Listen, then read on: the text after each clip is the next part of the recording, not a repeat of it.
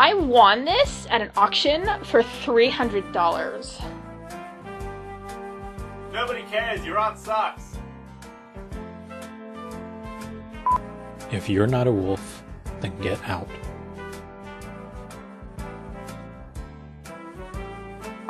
One time, I suited while drunk and I puked in my suit.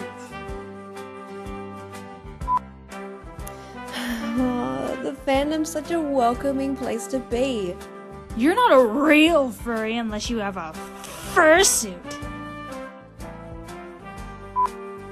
My only redeeming quality is being a bottom. I hate furries that say oh whoa and ooh Furries for life! Oh whoa!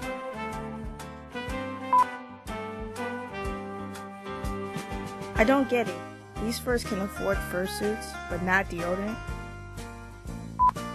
I steal art because I can't afford it.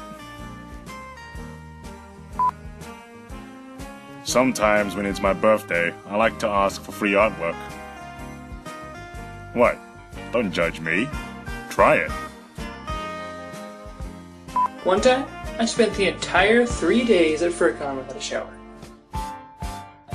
Man, I wish I could be living life as my persona sometimes. Can someone commission me a ref sheet? This is what my persona looks like. Yeah, my persona is female. No, that's not weird. Is it?